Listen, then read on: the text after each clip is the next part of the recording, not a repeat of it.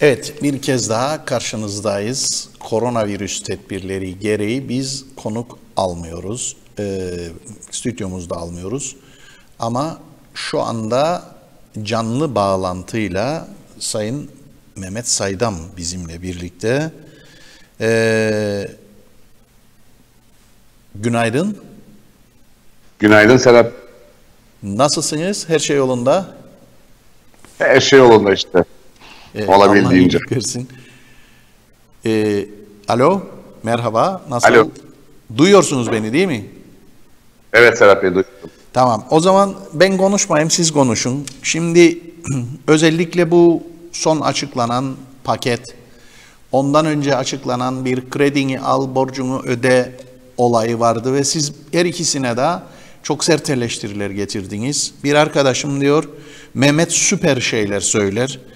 Döviz kurları da son dönemde inanılmaz bir noktaya geldi. Bugün sterlin 8.60 civarında seyreder. Nedir sizin bütün bunlarla ilgili en başından beri yorumunuz? Yani hükümet neden yanlış yapıyor size göre? Öncelikle e, herkesin e, içinde bulunduğumuz bu kötü günlerde her zaman herkesin söylediği gibi evden çıkmamasını ve bu kötü sağlıksız günlerin bir önce yok olmasını ve atlatmamızı dileğiyle başlayalım öncelikle. Doğrudur. Hükümet e, 14 Mart'ta başlanan bu kriz sonrasında ciddi anlamda, sağlık anlamında en azından bir 10 gün, 12 gün önlem almaya çalıştı. O yüzden bizler de e, buna uymaya çalıştık hepimiz toplum olarak. Sonrasında ekonomik paket olarak biriktirdikleri ve düşürdükleri birçok şeyi hayata geçirmeye çalıştılar. İlk başlangıçta 25 Mart gecesi Sayın Başbakanımız televizyona çıktı. Bakanlarla birlikte bir ekonomik paket açıkladılar ve bu paketi 4 gün sonra kendi kendilerine delerekten, bozaraktan uygulamaya başladılar. Zaten bu paketin başlangıcındaki iki tane madde vardı ki, üç tane madde hatta. Ee, birincisi dedi ki ben kendi çalışanım olan kamu personeline minimum 5000 TL vereceğim. Burada zaten bu kararı almakla özel sektörle kamunun arasındaki tercih farkını göstermiş oldu. Ardından döndü ve dedi ki hiç merak etmeyin e, kapalı olan işme, işletmelerin hiçbir şekilde çekleri takasa gitmeyecek. Üçüncü olarak da dedi ki arkadaşlar dedi biz dedi borcunuzu ödeyebilmeniz için size kredi veriyoruz. Bir kere böyle bir durumda Serhat Bey borcun borçla öte, ödelenmesi, borcun borçla devam ettirilmesi zaten ekonomik yapıyı finans kuruluşlarının üstüne yıkmak ve hükümet olarak da aradan çekilmek demektir. Yani siz aslında kendi çalışanınıza yani kamu personeline sahip çıkarken özel sektöre tamamen sırtınızı döndünüz. Ardından döndüler 5 gün sonra kendi beyanatları olan çekler takasa kapalıdır beyanatlarını bozarak bütün çekleri takasa açtılar ve birçok insan ciddi anlamda çekleri takastan döndü ve sonrasında söylediğim gibi borcu borçla öde diye bir kampanya başlattılar. Şimdi dün bir tüzük açıkladı ihtiyaç sandığı. Ve dedi ki ben dedi hükümet kendi çalışanıma minimum 5000 TL verebilmek için özel sektörün bana para vermesi lazım ki bu insanlara ödeyebileyim. Yani bir yerde aslında hükümet kendine toplum diye savunduğu tarafı seçmiş oldu. Yani özel sektör değil, kamuyu seçmiş oldu. Tüzüğün için okudukça gerçekten e, okuyan her insan, biraz aklı çalışan her insan ciddi anlamda bu tüzüğün o 1500 TL'nin ki artık 1500 TL birazdan söyleyeceğim sebebini ama bana göre bir katkı değil bildiğiniz anlamda e, verilen bir sus payıdır. 1500 TL alamasın diye nasıl bir tüzük yaparız şeklinde bir tüzük yapmışlardır. Şimdi normale iş insanı yıllardır yaklaşık 8-10 yıldır yasayla belirlenmiş bir şekilde her çalışanı için devlete her ay işsizlik ödeneği ödemektedir. Yani bizler özel sektör her ay maaş öderken sosyal sigorta ihtiyaç sandığı ve vergi dışında çalışanlarımıza eğer bir gün işsiz kalırlarsa yaklaşık 2300-2500 TL 6 ay boyunca işsizlik parası alsın diye kendimiz para yatırmaktayız.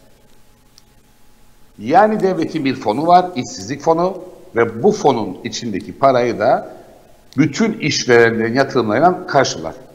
Ancak hükümet bu parayı kendi yediği için, tükettiği için, hatta söyleyeyim geçen ay bu fondaki 70 milyonu alıp emekli ödediği için, bu ayda 100 milyon alıp yine kamu maaşı ödeyeceği için o 2500 TL'leri bizim çalışanlarımıza ödeyemiyor. Ödeyemediği için de dedi ki arkadaşlar 2500 TL çok ben size 1500 TL veririm. Kendi memuruna 5000 veriyor ama. Biz çok basit bir hesapla özel sektör olarak dedik ki arkadaşım şu an yaşanan kriz var. Hepimiz kapalıyız. Bu kapalı olmaktan kaynaklı olarak bizim sana daha önce fon olarak yatırdığımız bu paraları bizim işçilerimize öde. Parayı biz yatırdık zaten. Biz yatırdık. Ama devlet diyor ki kusura bakma Mehmet Bey, kusura bakma özel sektör. Sizin yatırdığınız paraları ben mecburen kamuyu fonlamak için kullanıyorum. Size de sus payı olarak 1500 TL veriyorum. İşin komiği Serhat Bey bu 1500 TL'yi de bana vermiyor veya işletme sahiplerine vermiyor. Hükümet diyor ki zaten işverenler hırsızdır. Açık söylüyorum. Hükümetler hırsızdır. O yüzden biz bu parayı direkt olarak işçiye vereceğiz. Çalmasınlar. Şu an yayınlanan tüzüğe göre hiçbir işveren bu parayı alamaz. Ancak çalışan kendi başvurarak alacak. Siz düşünün inşaat sektöründe çalışan evinde bilgisayar olmayan bir inşaat ustasını diyor ki mail adresiniz olmazsa ben bu parayı size veremem. Bu parayı vermemeleri. Evet evet aynen böyle. Eğer mail adresiniz yoksa bu parayı alamazsınız. Ben şeyi dinledim Faiz Sucuoğlu'nu bakanı. Dedi işte yengesi, amcası, kızı, oğlu, eniştesi biri gelsin dedi. Başvursun dedi. Sanal başka bir ödemeyle alakalıydı. E bugün ülkede 53 bin öğrenci var. Sadece 25 bini katılabiliyor derslere. Yani dolayısıyla birçok kişinin eminim ben internet bağlantısı bilgisayarı yoktur. Yani var diye kabul Güzel. ediyoruz ama yoktur. Zaten bu yasa da söyledi Serhat Bey e, sırf ödenmesin diye yapıldı. Üstelik her bir bireyin ki 76 bin çalışan var şu an adada.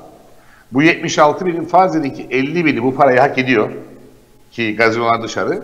Bu 50 bin insan tek tek başvuru yapıp e-mail adresi verip banka hesap numarası vermesi lazım.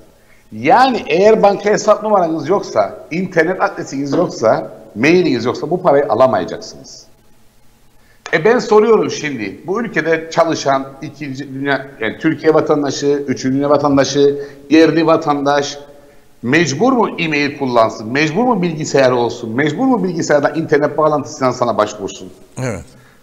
Eğer ihtiyaç sandığına başvuruda bulunursanız size yazılanları görürsünüz. Ve şimdi bu olaydan dolayı bugün sabahtan başlayarak yüz binlerce insan sokağa dökülecek ve bankaların kapısına dayanıp hesap açmaya çalışacaklar. Bu mudur yönetim? Bu mudur ekonomi? Süleyman Soylu taktiği. Yani tedbir alıyoruz. Hepiniz sokağa çıkın, bir daha bulaşın gibi bir şey. Peki çözüm. Evet, yani- Çözüm. Çözüm. çözüm. Bunun normal, normal bu paranın işverene aktarılıp işveren tarafından işçilerine ödenmesi sağlanmalıydı. 50 bin çalışan yerine 5 bin tane iş yerine bu parayı aktarmış olsaydınız bu kaos asla yaşanmazdı. Ancak şöyle bir enteresanlık var olayın içinde. Farkındaysınız bilmiyorum ama bu süreç içerisinde hükümetin yaptığı her türlü yanlışa, taraf seçmesine ve tamamen kamu personeli savunmasına karşı işverenleri temsil eden ticaret odası da sus pus kalmış durumdadır. Ticaret odası şu an tek kelimeyle hükümetin ürettiği ve uyguladığı yanlış politikaların savunucusu ve sözcüsü durumundadır. Çok net olarak söylüyorum. Bugün iş hayatında faaliyet gösteren birçok işletme kendilerini temsil edildiğine inandığı ticaret odasından yaka silmektedir. Çünkü ticaret odasını yöneten 3-5 arkadaşımızın kişisel menfaatleri toplum çıkarlarının önüne geçmiş durumdadır. Ve dün üzülerek izliyoruz. Hepimiz, siz de her gün sabah sizi de izliyoruz. Salgının ne kadar ciddi olduğunu, bu salgın için savaşın ne kadar önemli olduğunu, e, daha çok test yapılmasını falan söylüyoruz. Ama buna karşın hükümet dün bir karar alıyor ve diyor ki ben diyor çarşamba günü tapuyu açacağım. Niye açacaksın? Çünkü diyor vatandaşın, iş insanım gitsin, borçlansın, tapuya ipotek versin, bankalar kazansın, tapudaki işlemden dolayı hükümetin kasasında olsun, memuru ödensin ve bu şekilde ekonomi dönsün. Kaldı ki benim ticaret odası başkanım, üzülerek söylüyorum, şöyle bir açıklama yapıyor. Keşke memurdan kesinti yapılmasaydı, ekonomiye parayı bırakan onlardır. İşte bu felsefeyle gittiğimiz sürece de biz ekonomi olarak hiçbir yere gitmeyeceğiz. Çünkü Ama Mehmet kamu Bey, maliyesinin bu Mehmet kadar... Bey buna ben de katılırım. Yani bu bir dilektir. Keşke yapılmasaydı. Yani keşke paramız olsaydı anlamında söylüyor. Yani kötü bir şey söylemedi bence. Yani ben pek o anlamda iş Yani iyi, o iyi, iyi tarafıyla söyledi diye düşünüyorum ben. Yani keşke hiç batmasaydık. Ama peki bu batış sadece koronavirüs döneminde miydi? Yoksa biz zaten batmış mıydık? Bu gemi zaten deniz altında giderdi. Biz Atlantisliydik, suda yaşamaya alışmıştık. Da şimdi kum kaçar gözümüze ve ciğerimize gibi bir durum var. Yani biz zaten batmışydık. Bu ülkede vergi adaleti yoktu. Bu ülkede sosyal adalet yoktu. Bu ülkede adalet yoktu zaten. Yani sadece şimdi midir sıkıntımız yoksa zaten önceden de var mıydı? Özellikle vergi Çok şey adaleti Serhat. konusunda. E, e, doğru söyledin. Biz önceden iflas etmiş durumdaydık. Bunu sadece saklıyorduk, öteliyorduk, göstermiyorduk. Bankalar finanse ediyordu. Zaman zaman devlet müdahale ediyordu. Ama zaten batmıştık çoğu olarak, çoğunluk olarak. Ancak bu Covid'den sonra iş yerleri açılmayınca zaten bu eğiden su yüzüne çıktı. Bu su yüzüne çıkarken de hükümet aldığı tedbirlerle bizi aslında doğru yönelteceği yerde yanlış yönelterek tamamen söylediğim gibi e, finansal kurumların üstüne attı. Zaten yıllardan beri iş insanım bankalara tabi, bankalar için çalışıyoruz. Ama bu bize şunu gösterdi. Bu son yaşanan Covid olayı da açık ve net bir şekilde hükümetlerin, bu şimdiki hükümetin değil, gelmiş geçmiş tüm hükümetlerin kurduğu sistemde hani adına ıstatiko dediğimiz ve birilerinin savunucusu olduğuna inandığımız bunun ana savunucusunun hükümet, sendikalar, ticaret odası gibi aslında eleştirel olarak yaklaştığımız herkesin bu konuda mevcut düzene sadık olduğu ve mevcut düzeni de savundukları ortaya çıkmıştır. Aslında biz zaten senin söylediğin gibi iflasa yakındık. Az önce cümlenin başına şunu söyledim. Bugün Covid'i konuşuyoruz. Hükümetin aldığı başarısız ekonomik tedbirleri konuşuyoruz. Ama yarın sabah Covid'den kurtulsak bile senin programın başında söylediğin gibi bugün sterlin 8.60. Yani artık zaten film bir yerlere kopmuş. Radikal çözüm üretmemiz gerekir. Hatta daha da öteye gideyim. Böyle bir dönemde bu kadar iflas etmiş bir maliyenin, bu kadar iflas etmiş bir hükümet politikasının kökten değişmesi için tam zamanıdır. Ama buna herhangi bir kişinin eleştirisel yaklaşımı yok. Neden? Gemisini kurtaran kaptan modundayız. Yani evet sen, ben, belki Atlantis'te olabilirik, uzun yıllardır su altında yaşayabiliriz ama bu statükoyu koruyan arkadaşlarımız uzun yıllardan beridir su üzerinde bir gemide yaşıyorlar ve sadece kendilerinin kaptan olduğu bu gemide kendi menfaat gruplarına yardım ediyorlar. Ben çok açık bir şey söyleyeyim Serhat. Ee, Çalışma Bakanı'nın ve hükümetin iş dünyasına bu sırtını dönmesi, hiçbir şekilde ticaret odasının bu insanı savunmaması ve üstüne üstlük Sayın Bakan'ın çıkıp da demesi şu demesi çok ağrıma gidiyor. Ee, özel sektör ben sana 1500 TL veriyorum ama merak etme ihtiyaç sandığında da borçlanabilirsin. Ya o benim param. Sana ne? Benim param. Sen benim paramla bana hava atmaya kalkarsan bunun için yasal düzenlemeye de gerek yok. Sen kendi memurunun emekli sandığındaki parasına el attın mı? Atmadın. Sen kendi memurunu işe çağırdın mı? Çağırmadın. Kendi memurunu işe gitsin diye zorladın mı? Zorlamadın. Şimdi zorlamaya başlıyorsun. Peki senin memurun parasız kaldı mı? Kalmadı. Ama benim insanım kaldı. Özel sektörde çok ciddi şekilde söyleyeceğim Serhat bunu. Çünkü dün çıkan tüzüğü çoğu işverenimiz yanlış yorumladı. Şöyle 1500 TL mi istiyorsunuz? Alın. size Nisan ayını veriyor. Bu tüzükte Mart ayı yazmıyor. Niye biliyor musunuz? Çünkü Nisan ayında açacağı iş yerlerinden dolayı Mart ayında o açtığı iş yerlerine para vermeyecek. Örneğin inşaat, örneğin restoran. İnşaatçının şimdi açsan ne olacak? Adam üretim yapsa kime satacak? Restoran açsan ne olacak? Sağlığı düşünen yok. Daha da öteye gideyim size, daha da öteye anlatayım size. Diyor ki, A özel sektör, batıyoruz, para yok, başlığın çaresine bak.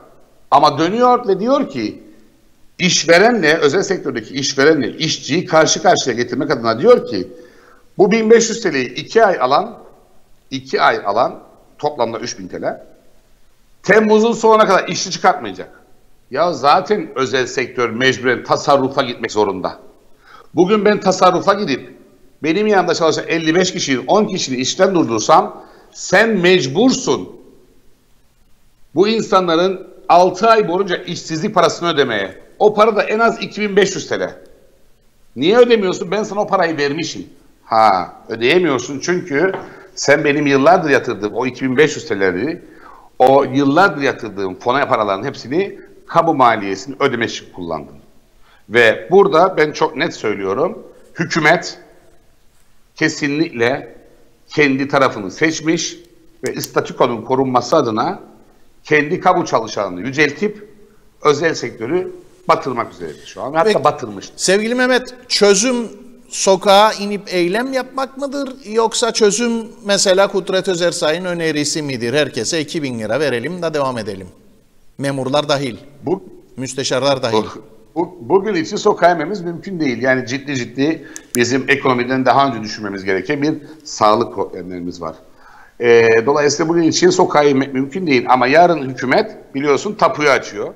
Herkese diyor ki Sayın Başbakan da slogan olarak herkes kredisini kullansın borcunu ödesin. Yani borcu borçla öteyip, öteleyip ekonomiyi maalesef daha da kötüye götürmeye çalışıyoruz.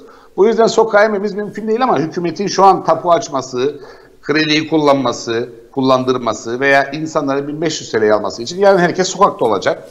Dolayısıyla ben diyorum ki artık bu çürümüş, bezmiş, bitmiş politikaları, hükümet yapısını ve devlet yapısını terk etmemiz lazım.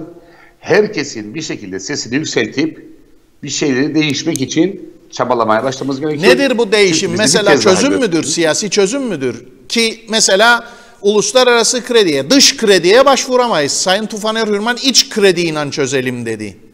İç kredi de bankalara teslim olmak değil midir? Şimdi hükümetin borçlanması başka bir şeydir. İş insanının bireysel olarak borçlanması başka bir şeydir. Yani hükümet borçlanabilir. Buyurun. Hükümet borçlanabilir yani.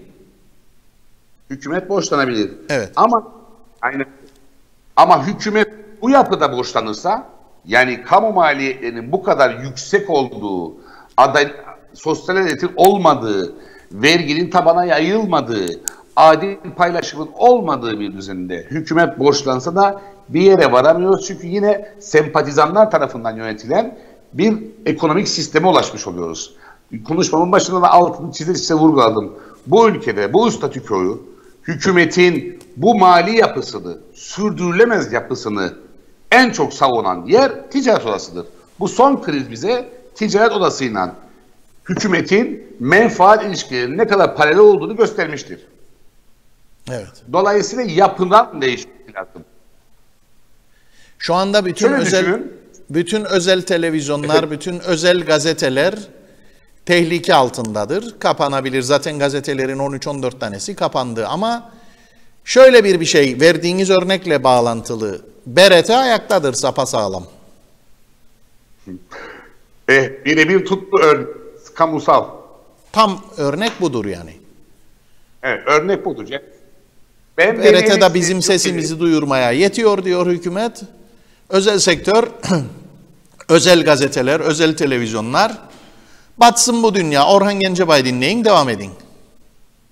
Serhat Bey, dün bu yasa çıktıktan sonra herkes yasa yok başladı ve fark ettiler ki avukatlar, mühendisler, kireçler, ne bileyim emlakçılar bu yasa kapsamının dışında kalmış.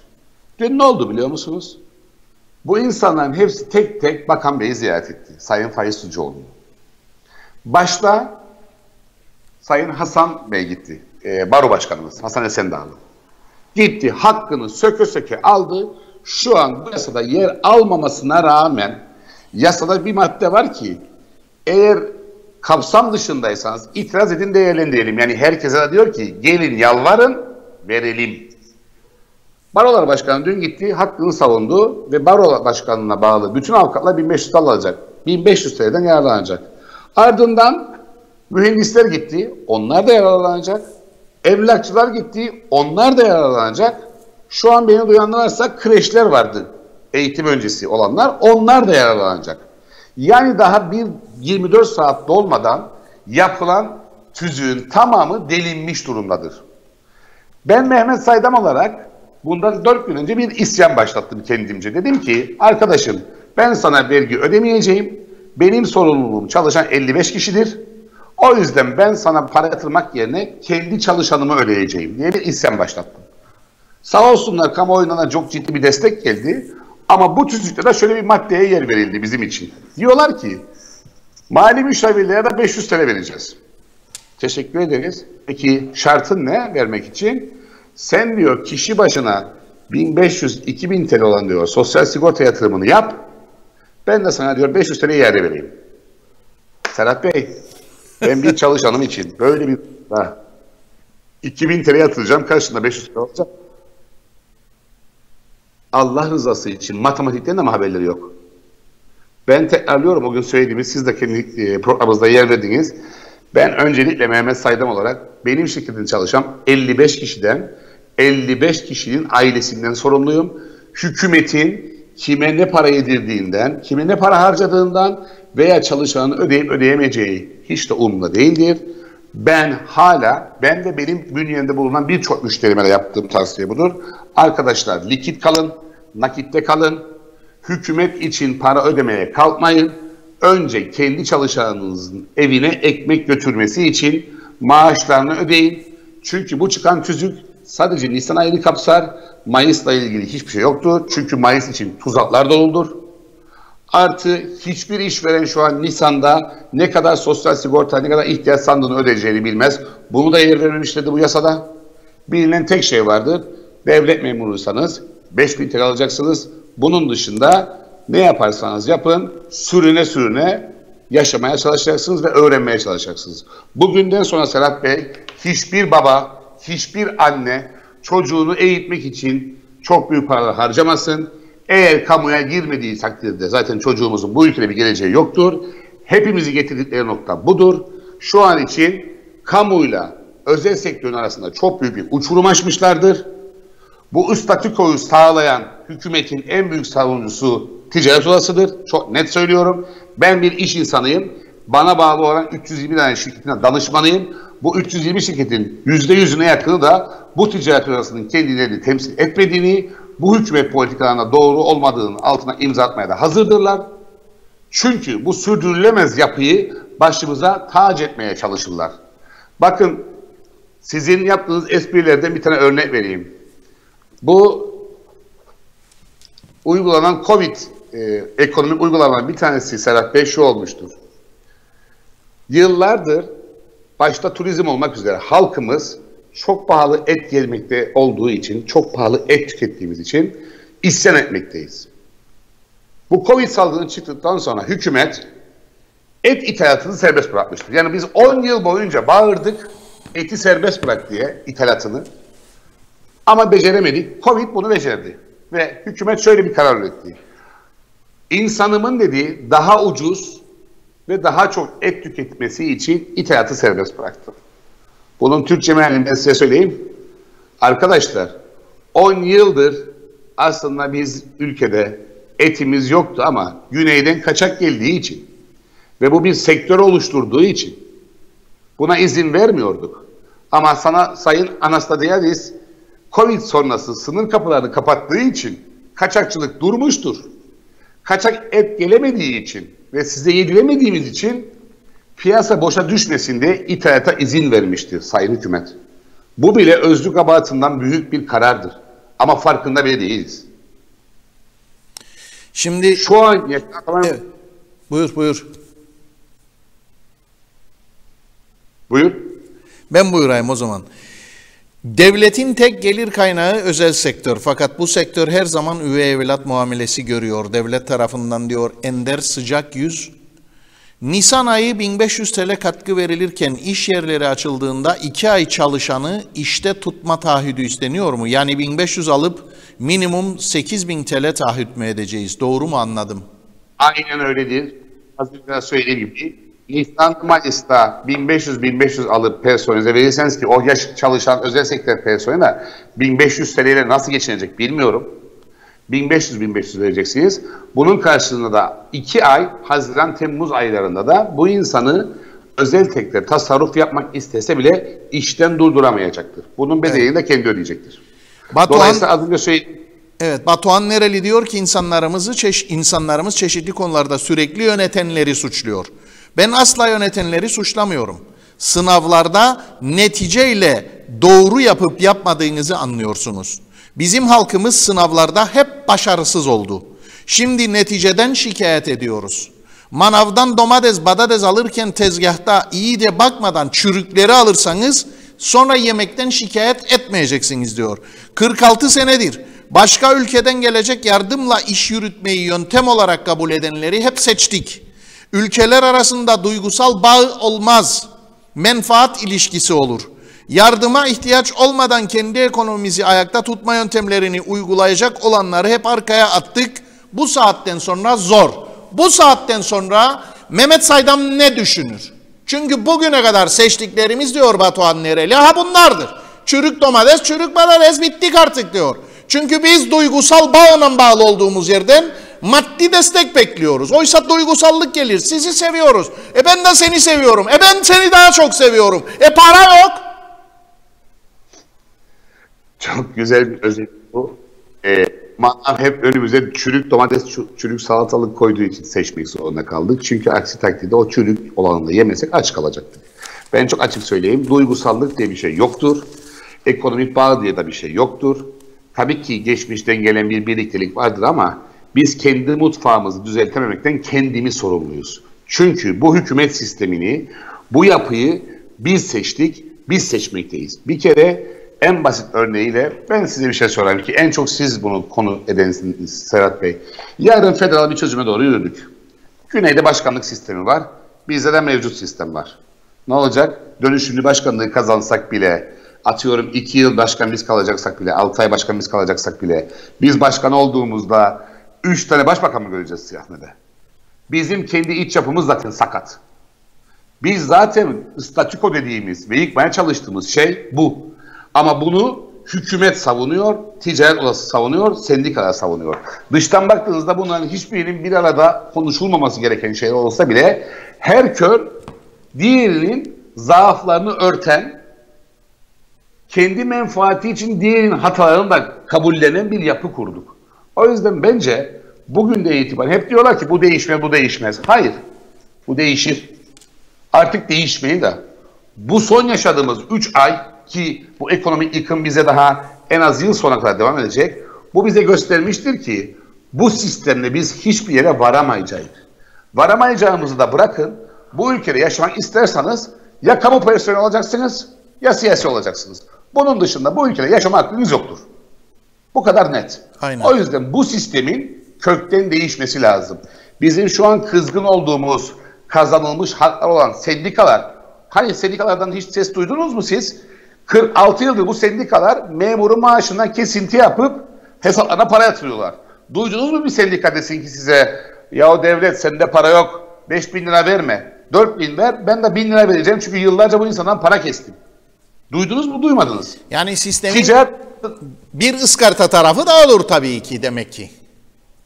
Aynen. aynen böyle ticaret odası ki bir tane özel sektörü savunsun. Savunmadı. Ticaret odasından ses yok. Sendikalardan ses yok. Neden? Çünkü bu statüko dediğimiz eleştirdiğimiz devlet sistemini koruyan bu iki ana iki sistemdir.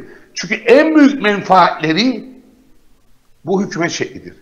Bugün memurdan yüzde 25 ile yüzde 60 arasında kesinti yapıldı. Minimum 5000, maksimum 8500. Hala Maliye Bakanlığı ödeyeceği maaştan kesinti atıp sendikaya para yatırır. Hadi çıksın bir sendika desin ki bana ya ayıptır ya 40 yıldır bu parayı topladım. Ben de kendi üyeme 500 TL 1000 TL veriyorum. Var mı öyle bir şey? Yok. E sendikaların Niye bir sendikalar- miktar sendikalar bir miktar maddi yardım yaptılar. Yani oraya buraya bazı Evet 50 bin TL. Artı patates alımı, artı süt alımı. Bu mudur Evet. maddi yardım? Hükümet yangın yeri, devlet bütçesi yangın yerinde bu mudur yardım?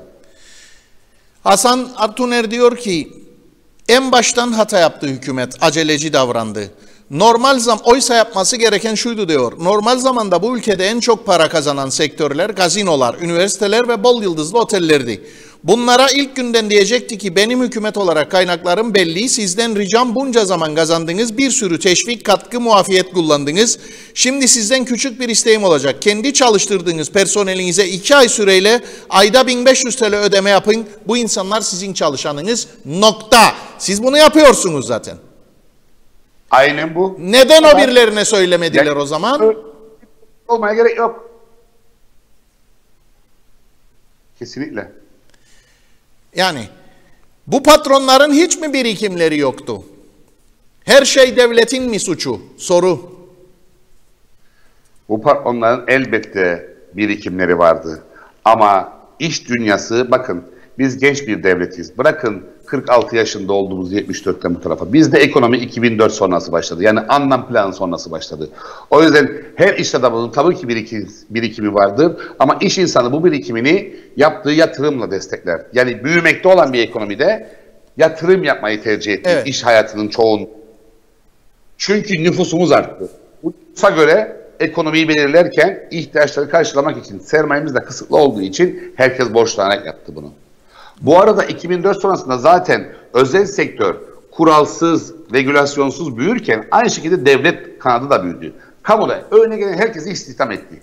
Günün sonunda iş insanının birikimini sorana kadar, çünkü iş insanının birikimi vardır, yoktur, yatırımdadır, farklı bir şeydir.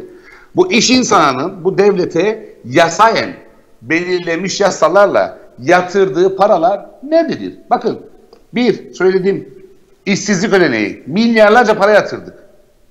Niçin yatırdık? Özel sektörde işsiz kalan bir adamın 2500 TL'ye yakın 6 ay maaş alması için. Evet. Devlet bu parayı çekip kamuoyu finanse ediyor. Evet. İki, Fiyat İstihdar Fonu 1974'ten sonra hayata geçmiş bir yasal düzenlemedir.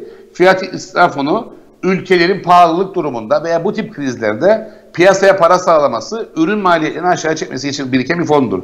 Bu fonun parası nerede? Bu fonun parası da tamamen kamu maliyesinde. Evet. Peki o az önce bir Biz, sorduğunuz soru biz. O- bir soru var Mehmet Bey. Şimdi Batur Sağlamer avukatım soruyor. Mehmet Saydam Bey görevde olsa ne yapardı? Çünkü bu sistemin değişmesi gerektiğini herkes biliyor ama para yok. Mehmet Saydam ne yapardı?